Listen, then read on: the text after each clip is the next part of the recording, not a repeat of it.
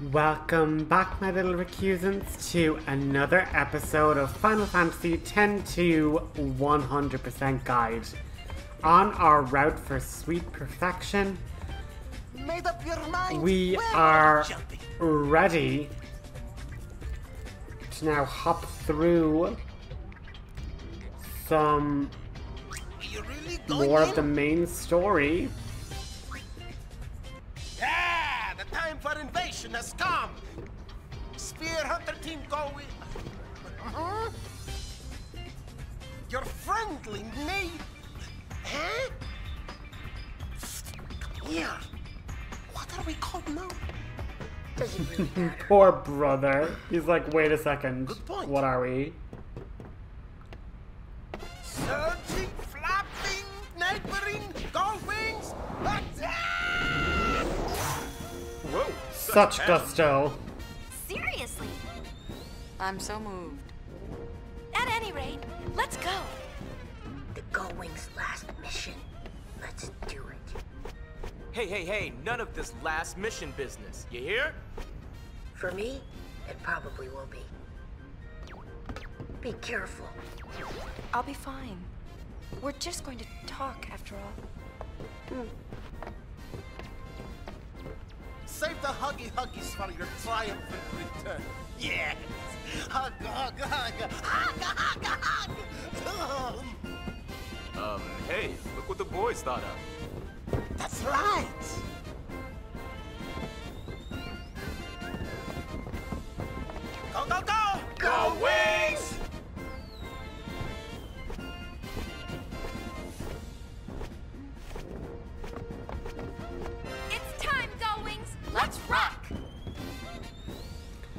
So the guys have a pose and the girls have a pose, and as I say, we are now diving into one of the holes in the far plane abyss.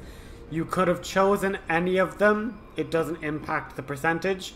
There is a hidden garment grid tied to completing the paths down with all of the tunnels, basically. But the first time we go down these tunnels, we're going to be faced with super bosses um, at different stages journeying down. And as I say, I will turn off encounters after a little while. But the uh, the accessory we're after getting from defeating um, the Iron Duke, is absolutely unbelievably powerful. So we're just equipping Yuna with the, again, break HP limit and uh, Garment Grid and the break damage limit Garment Grid. But if we're able to equip the Iron Dukes, which I will do shortly after, it literally comes equipped with boosting HP 100%, boosting MP 100%, and boosting nearly all stats by 100, and other stats by like 40 or something less than that anyway. But it is just an unbelievably powerful accessory that we will be giving to Yuna, and we will be making Yuna a Dark Knight for these next couple of battles, just because her AoE Darkness ability and her AoE Black Sky ability, when paired with super massive statistics and her max level, just makes the rest of these normal quote unquote bosses and not the super bosses You're not really getting away. trivial. Confident, huh? And I was about to say during the cutscene, oh, like brother just wants the huggy huggies for like later, and then it's like, oh, then he Here had to go all trump card. ooh, huggy huggy hoo, hoo, hoo, and go all creepy in that. So that was not ideal.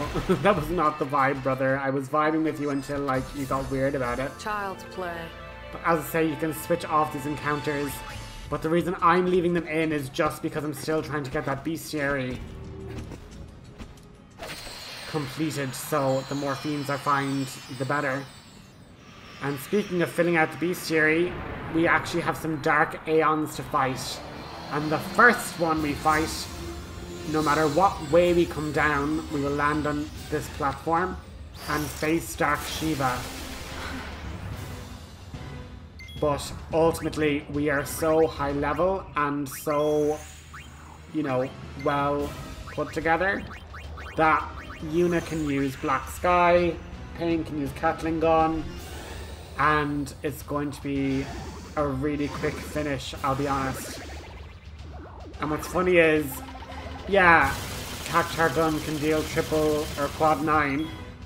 But Black Sky, when Yuna is this powerful, allows Yuna to basically do well over 10k damage. That's because she's doing 10 hits of 2000 damage. And, you know, we're after topping up Paine with an elixir there from the stash. And Dark Shiva is dropped.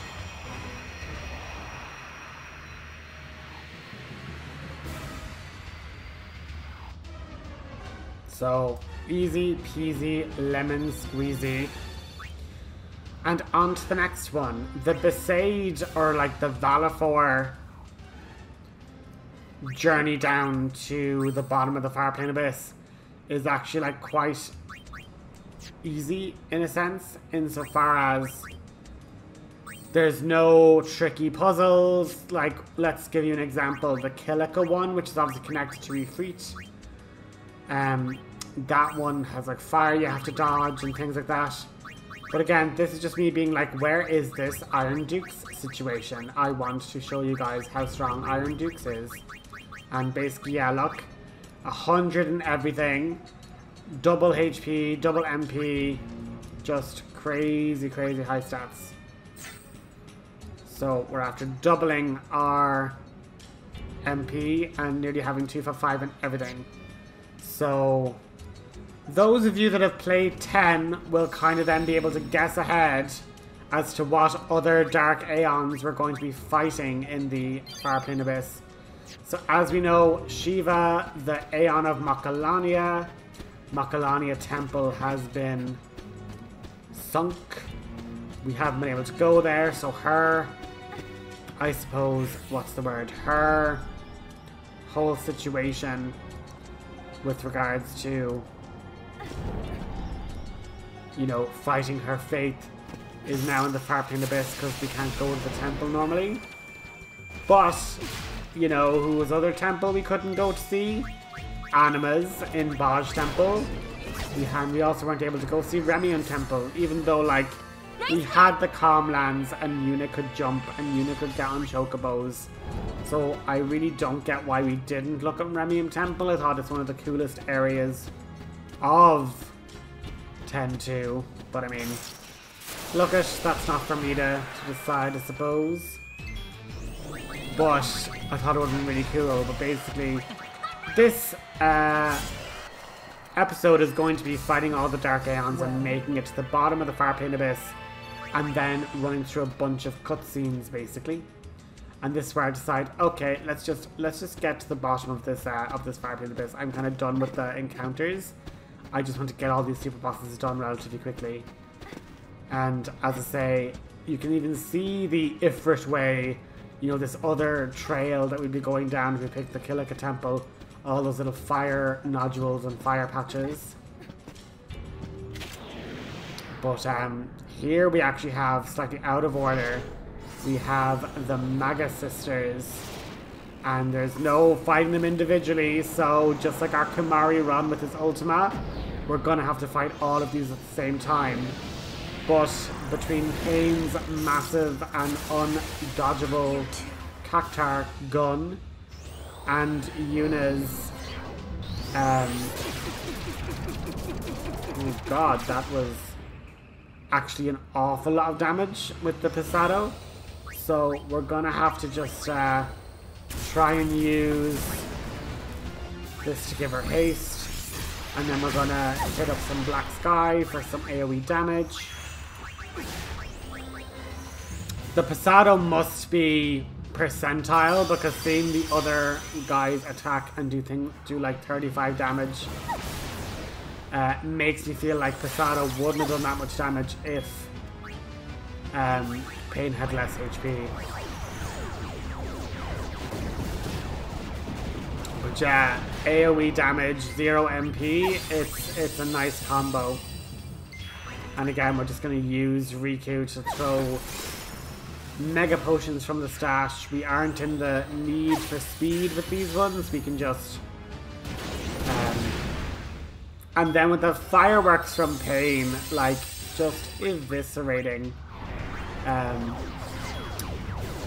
Sandy and Mindy and now Cindy is gone as well.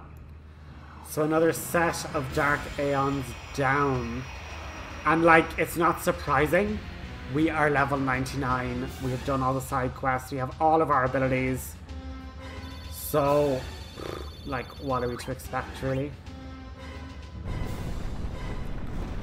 But with that, this arena gets exploded. And now it's kind of a small area where we'll always hop, skip, and jump it over. But again, we're just going down, down, down. Into the deeper depths of the abyss. Into the depths of the far plane. But what's really interesting is the next couple of cutscenes allude to a shared universe in the Final Fantasy timeline where 10-2 is a distant, distant prequel to 7. But I'll let that cutscene speak for itself.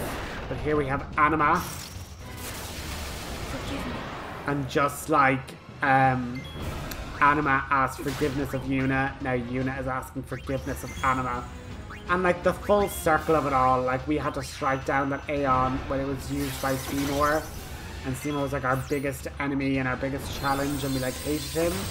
To now Yuna feeling absolute sorrow that she has to like um strike down a friend now.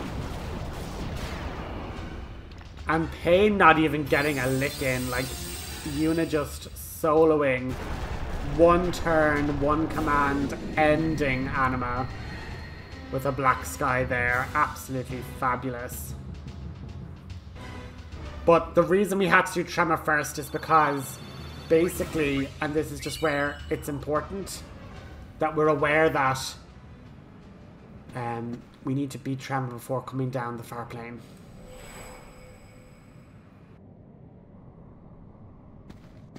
Yuna. I'm sorry. We weren't strong enough to stop him. We wanted to at least warn someone, but instead, we were dragged into the darkness. We're no better than fiends. It's all right. Forgive us.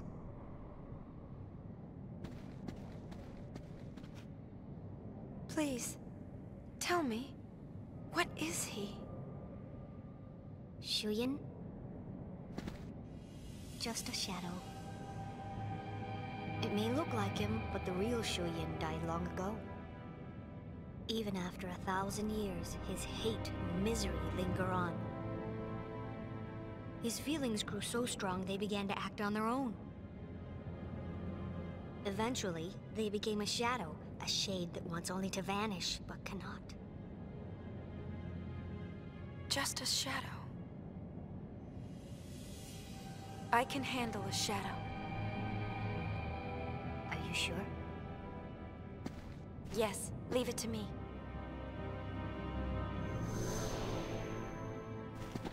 I'll banish shadow with light. Light? Lenne's feelings. That's right.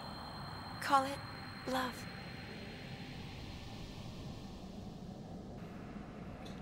And with that, we are in the flowery glade of the far plane where Yuna woke up all that time ago when she fell into one of the holes. And we get to meet up with LeBlanc. Hey! You certainly took your sweet time. Why are you here? Because the boss never goes against Lord Nuji's wishes. You found him? As we was heading in, we found the sphere addressed to the boss. He said, Don't follow me. Turn back now and wait for my return. Actually doing what you're told? How novel. What can I say? One look at Noojie Woojie's dashing visage on that sphere, and I was, oh, charmed. How could I say no to such a cutesy wootsy face?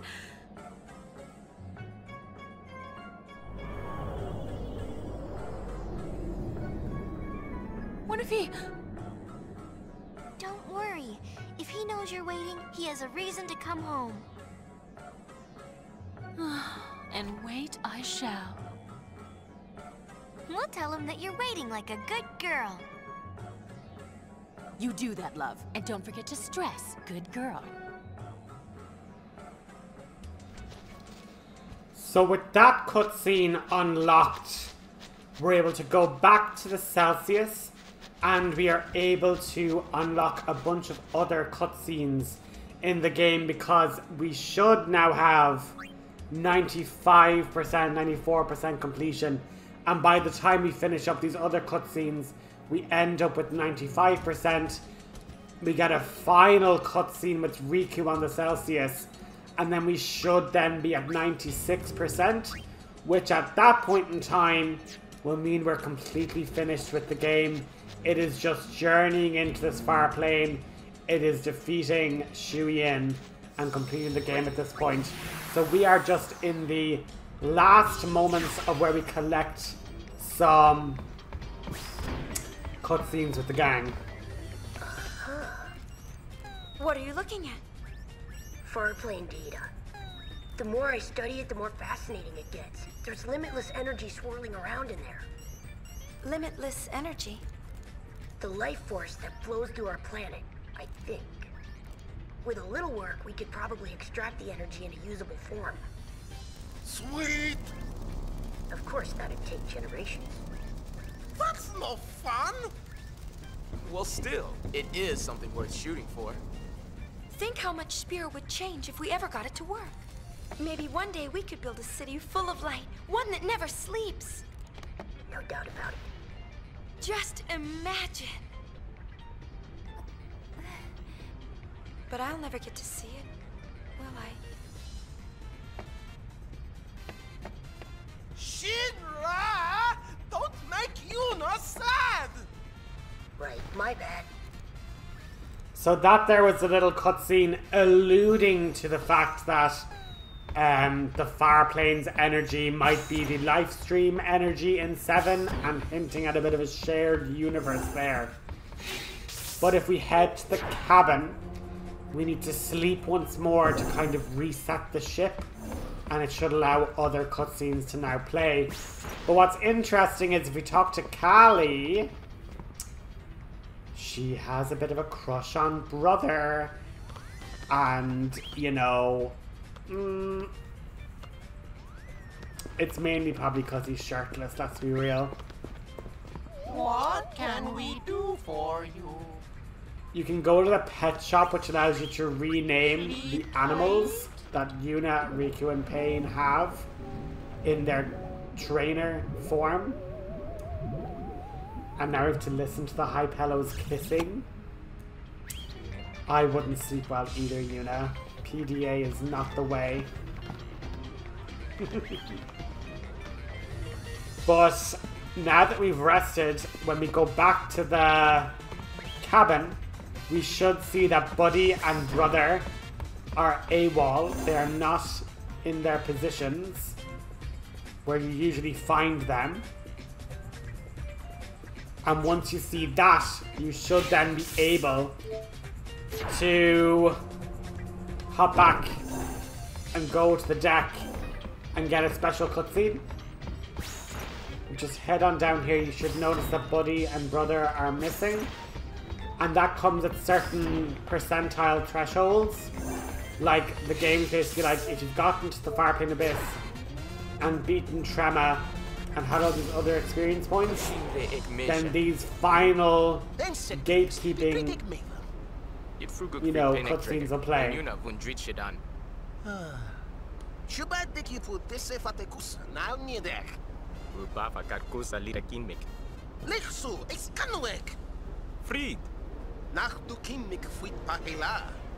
Nadyanjri Yuna. Huarnek, dranage kuklerken. Yim naked, yim naked. Bifa nemu padan dreguf kusadreg. If a dudvid have from a deep go dig for the sheed. Boemek, ja, drek bitrid. Au, vi mig gæk. Kan tog du få? Sheed? Jeg vundet her kvæk. Du dit at lade out the crib. Emperor Rebo de Tuat Vunwi. So we get another lovely Al Bhed primer to add to our collection there, which is great. And if we now head back down again, there should be another cutscene where Rikku isn't here, which she isn't. So now we know that we're able to go to the cabin. And when we go to the cabin there, we basically have this little silly confrontation with Cid, who's basically like, my unwed kids and unwed daughters shouldn't be like wandering around the world. They should be settling down and getting married. And he's like, alright, niece, time for some parenting. Listen up, kids.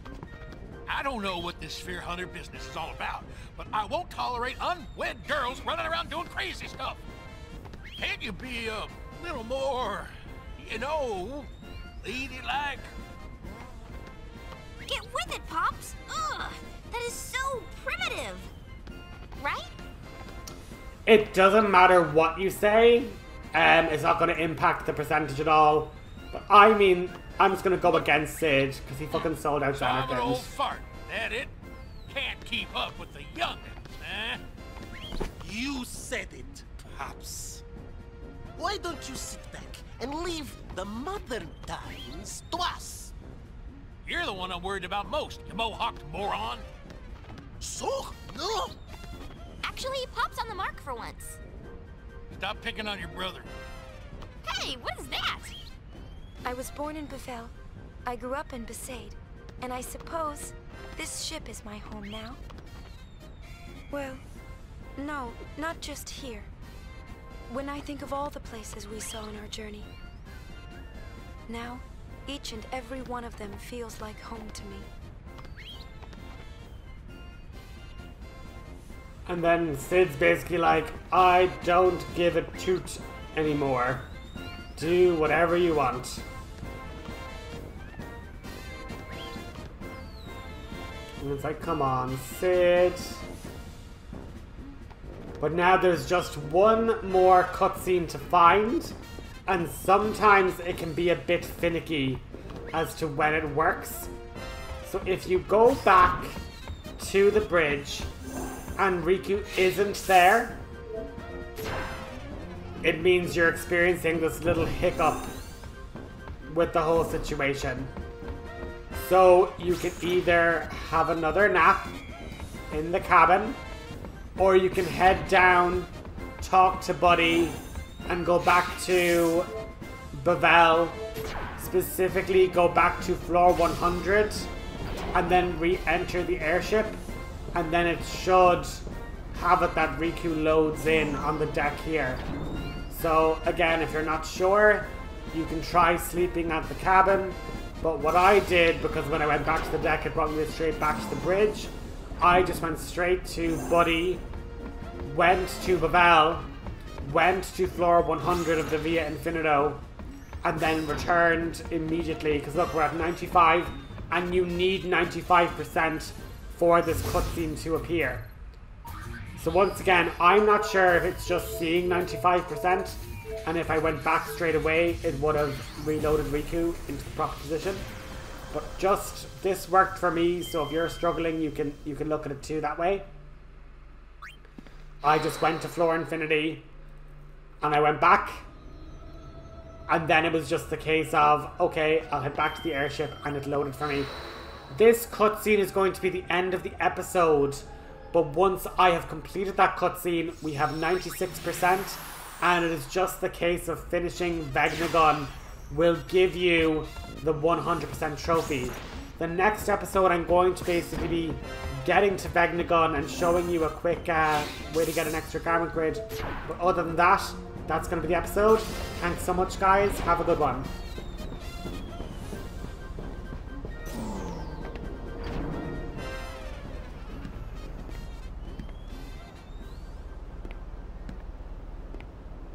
What's wrong? It's just... Why do I always feel like I'm being left behind? Yunie, you're changing, You want to change, and Paine's changed a whole bunch.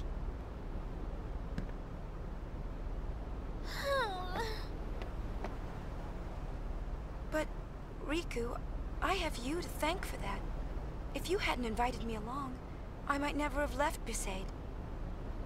And the way I was before, I could never have lived like this.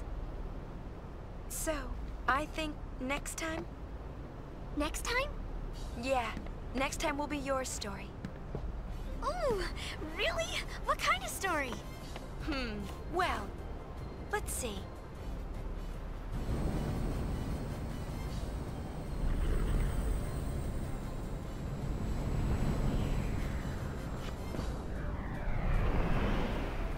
How's that for a beginning? Do I get a hunky boy in my story? Need one? Yep, yep! I wonder what brother would say. Uh, he's not invited.